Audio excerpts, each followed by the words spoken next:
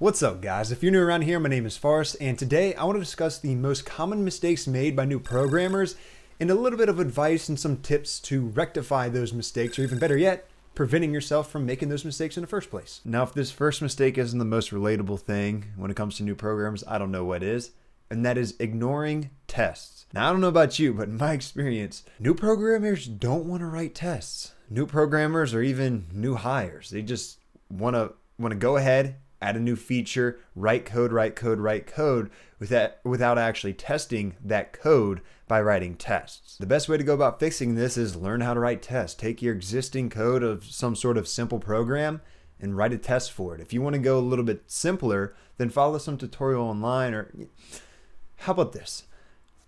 I plan to make two videos this week. How about the second video is me writing tests for one of my AI programs or, or, or something. And if you want to get into writing tests, which if you want to be a programmer, a good programmer, you're going to have to, that'll be a good starting off point so that you can write tests for your own code. Because believe it or not, every developer, regardless of hierarchy or experience, they're going to be writing tests. And if they're going to tell you otherwise, they're a liar. Software is not complete until it is built and tested. So that some words to live by there. Another mistake that is actually fairly uh, fairly well known, but people tend to kind of ignore it. That is dirty code. Now, of course, you want to write code as clean as possible, but but the problem is new programmers, whether you're following a tutorial, doing an online course, or you go to college, when you write a program, you write it for that course and then you forget about it. You don't have to come back to it a year, two years, three years later and try to maintain or add a feature or something to that code.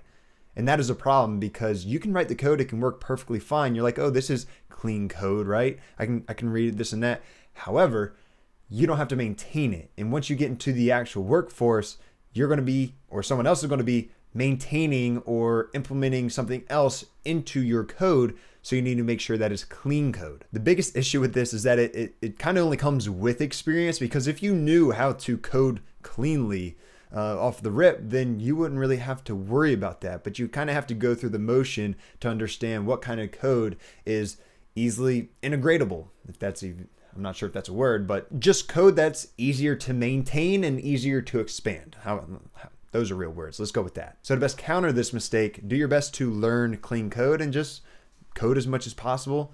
Go back to some of your older projects and try to add a feature or something along those lines so you can kind of get that kind of like that fictitious real world experience. A perfect piggyback off the previous mistake, and that is ignoring technical debt. Because when you have poorly written code, dirty code, you're going to be accruing technical debt. Now, there's also going to be other ways where you accrue technical debt, and that could be with the updating of languages as well as other things that may or may not be out of your control. But it's also something that you probably won't see on your personal projects. I mean, you probably aren't running linting tools when you're doing some of your your school courses or what have you. But when you have a large code base, you need to you need some way to track all of these errors or bugs or updates or code smells that your your code may have. And that's when the linting tools will come into the equation. And with these tools it'll tell you what technical debt you have. And you need to budget time every week or, or what have you. I'm sure if you're working at a place they have something in place for this Let's hope they have something in place for this where you can budget some time and go over technical debt. Problem with this is similar to the problem of ignoring tests. Uh, programmers, they want to hurry up and get on to coding the next cool feature or, or just doing anything that isn't maintaining code or writing tests. So with the technical debt, you need to make sure you maintain that code base because as that accrues, who knows what'll happen to your code base. I like to I like to equate it to like it's like modding out your car without ever washing it or changing oil. It's like, oh, cool mods, bro. But uh, but your paint is oxidizing and your motor's got a knock. Uh, but cool mods.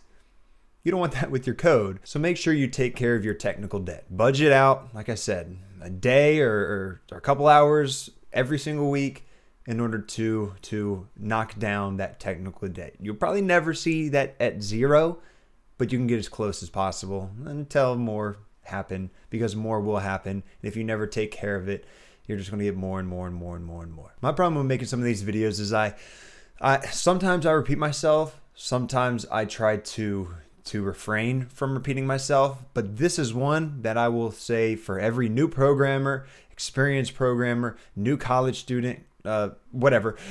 A big mistake that a lot of these people make you don't ask for advice. Have you ever seen The Office? Well, whether you have or haven't, there's this one scene that Jim has a new boss. And that new boss asks Jim to get him a rundown of his clients. However, Jim has no idea what the heck a rundown is. So instead of just asking, hey, what's a rundown? Which I mean, I guess you can kind of give him the benefit of the doubt because his boss was kind of, uh, well, you know, he just kind of, well, let me show you. You need a rundown of your clients. Can you get that to me? Sure. Yeah? Yep. Okay. What the hell is a rundown? Hey, dude, you know what a rundown is? Use it in a sentence. Uh, can you get this rundown for me? Try another sentence. This rundown better be really good. I don't know, but it sounds like the rundown's really important. Charles asked me to do this rundown of all my clients. Why don't you just ask him No, what, I can't. It was like hours ago. what have you been doing? Try another sentence. You can't tell me you've never been in that position. At least I've been in that position. Doesn't matter what kind of work you do. If there's something that you, you're, you're told to do or you don't know how to do, and you're going to try to sit there for three hours trying to figure out what it is, but you never figure it out, how are you going to go ask somebody three hours after that was assigned to you? Wait, what does this mean? I could elaborate here, but I think the point got across. And that point, that is just if you don't understand something, just ask. Or maybe you've spent too long on a particular task, like you, you figured you could you could handle it. Maybe there's something that you couldn't fix, a problem that you couldn't solve, and you've exhausted all possibilities. Just ask. I mean, if you're just running in circles, you're just wasting time, your time, company time, whatever it may be. So just ask somebody. If you're a student, ask your professor. Ask Stack Overflow. If it's on your own project, ask Stack Overflow. Be, be, be a part of a Discord channel. If you're at work, which a lot of these are going to happen at work, ask a fellow member of your dev team, ask your boss, just ask somebody. Just say, look, I try to do this, this, this, and that. Or maybe you just flat out don't know. So off the rip, you just need to ask them. It's not, it's not, it's not going to be the end of the world because your boss sees that you don't know something. At least you're showing them, at the very least, you're showing them that you are trying to make sure you can solve this problem to the best of your ability. So you need to know all of the information. And that's when they come in. And this mistake, very, very uh, prevalent when it comes to new programmers. But also, you may not think about it when you're a newly hired developer on some sort of project. And a mistake is improperly naming objects, improperly naming your variables, your functions, your methods, whatever it may be. New programmers make that mistake mistake all the time because they may say, "Oh, well, I'm going to name this X, Y, and Z." Unless those are like actual coordinates or something, it would be a lot better to more accurately name those variables. The problem with this is that a lot of people don't understand the importance of naming your variables. You got to figure out a, a, a concise and descriptive name for all of your objects. The reason being is when you use it somewhere in your code, you don't want to have to go back to where you determined or, or declared rather that variable. Instead, you would like to be able to see that variable anywhere in the code and know what that is referencing. This also goes for people who are new to a code base. If there's some type of naming convention, which there are particular naming conventions for every single language that there is, you got to capitalize this or lowercase this or camel case this or use underscores here. Make sure you follow those typical language uh, parameters when it comes to naming conventions. But also, when you're in a new code base, try to be as consistent as possible when it when it comes to naming your variables. For example, you could be writing a, a, program where you have a car, a bike, and a tractor. All of these have wheels, right? But you don't want to just name it wheels one, wheel two, wheel three. You won't know what wheel you're talking about if you use it somewhere else in your code. Instead, use car wheel or tractor wheel or bike wheel. And depending on what your fellow dev team has already determined to be best in your code base, that could mean saying instead of car wheel, you say wheel car. Then you have wheel bike and then wheel tractor. Just those minor variations in these names that could help more people understand. I mean, you can see the very first part of that variable is wheel, and then you see what that wheel is a part of instead of seeing car and then figuring out what part of that car is. It's very simple example, and it's very specific example. But I'm just trying to get the point across that, that it's important to properly name your variables and stay consistent with the current code base in which you're working. And that's all I got for you today. I would like to discuss more of those like new programmer mistakes, like really, really beginner mistakes, and go a little bit more into depth there. Maybe I'll do that in a, in a couple weeks here. And also keep your eye out on um, Thursday, 9 a.m. My plan is to upload the uh, coding unit tests or whatever it may be for whatever program it may be. AI program, I don't know.